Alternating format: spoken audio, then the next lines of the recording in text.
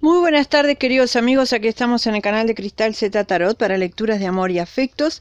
Estamos en el mes de octubre haciendo la lectura en esta ocasión para el signo de Géminis. Como siempre les recuerdo que no pueden tomar esto a título personal porque no lo es. Personal es cuando tú te haces las lecturas de manera personal y entonces estás eh, haciéndote nada más para ti esta lectura, para ti mismo esta lectura. ¿Sí? Bien.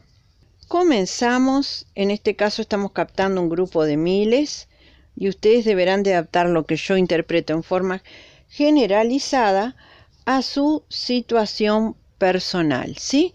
Bueno, si no se hallan aquí, que no tienen por qué, porque a ver, ustedes son millones y es imposible que todos los millones de un, de un signo estén en una sola lectura. Pero sí van a estar unos cuantos miles.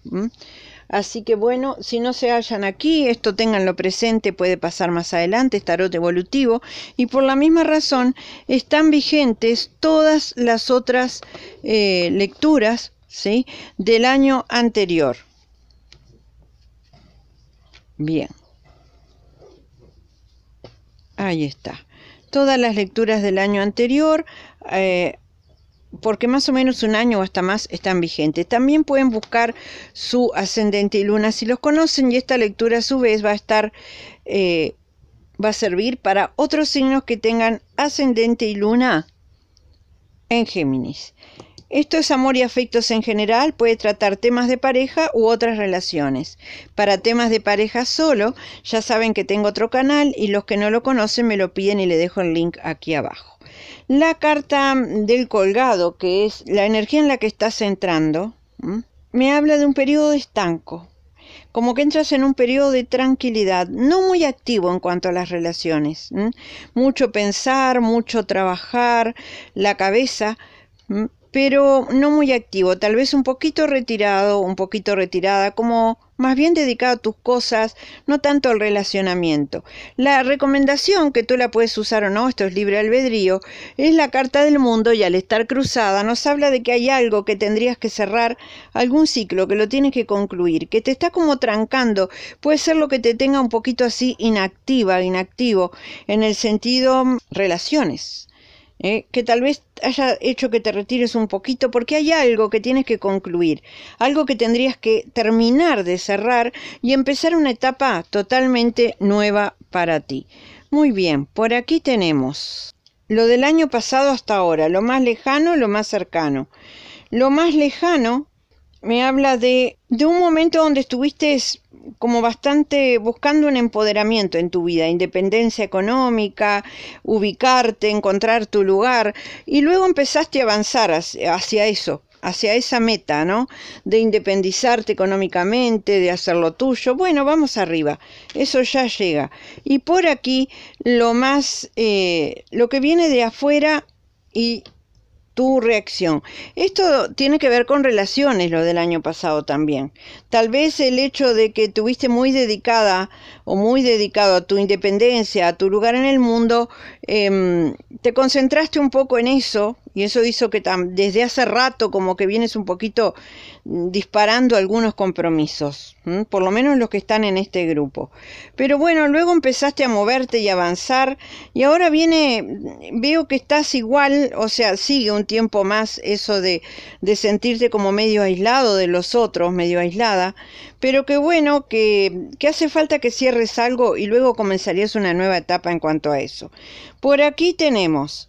Em, lo que viene de afuera, como dijimos, que es la suma sacerdotisa, algo, alguien que viene trayendo a tu vida algo que tiene que ver con aprendizaje, enseñanza, crecimiento, con un crecimiento holístico. Tal vez te trae alguna situación esta persona mm, de que te invita a ver las cosas un poco más amplias, de otra forma, de otra manera.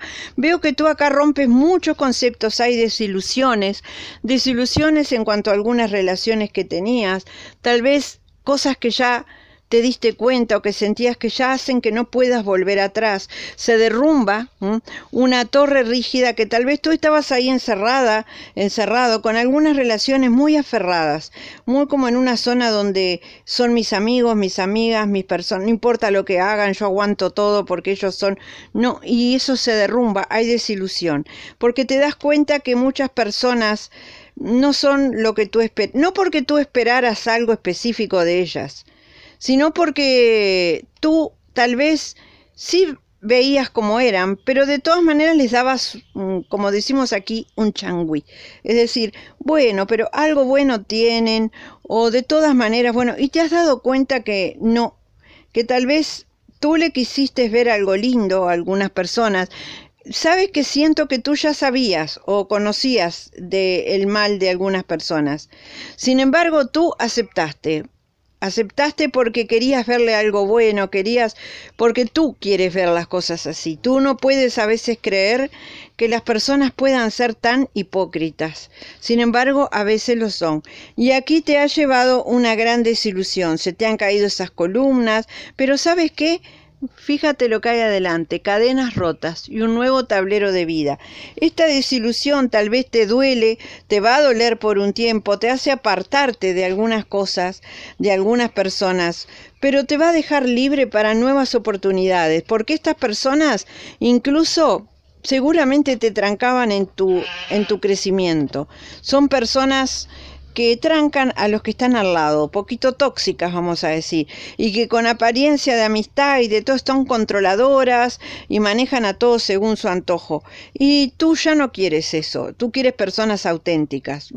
Aquí tu mente y tu subconsciente, la mente está buscando justicia, por eso te digo esto, buscando equilibrio, justicia, eh, decir, equilibrar todo esto, tener que las relaciones sean adecuadas a lo que tú esperas, a lo que tú quieres, este, a lo que tú deseas, equilibradas, es decir, según yo doy, quiero recibir. Si yo soy auténtico, si soy capaz de entregarme, de jugarme por alguien, yo lo hago con toda sinceridad. Eh, y espero lo mismo, y eso es lo que quieres. Y en tu interior, a pesar de este dolor, a pesar de esto, de esta desilusión y de tener que darte cuenta de algunas cosas, veo que hay fuerza, fuerza interior, fuerza de voluntad, una fuerza interna que te da ser auténtico realmente, que es lo que tú deseas y lo que quieres quieres ser, quieres ser como eres, que te acepten como eres, que te valoren como eres y tener personas a tu alrededor, porque tú también no solamente sabes valorar, sino que hasta has sido demasiado condescendiente. Ya no va más, no hay más condescendencia. Ahora tú quieres que las cosas sean justas. Eh, si yo soy capaz de ser así, quiero personas así a mi lado. Y eso es lo positivo, porque si cierras ciclos con esas personas que tal vez te esté costando todavía con algunas, ya se cortan las cosas. Y fíjate lo que viene, se cortan esas relaciones trancadoras, fíjate lo que viene al final.